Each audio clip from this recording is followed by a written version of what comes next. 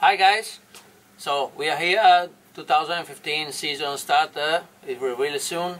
We are here today for um, make on the dyno, make some map and test with the new development of uh, the KTM 250 EXC uh, 015.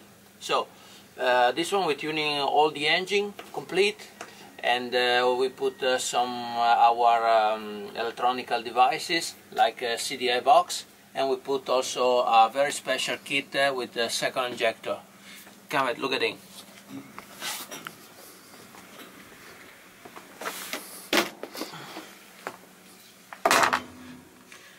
Here we try to do the best, you know, like what we do also on the other on the other bike, you know.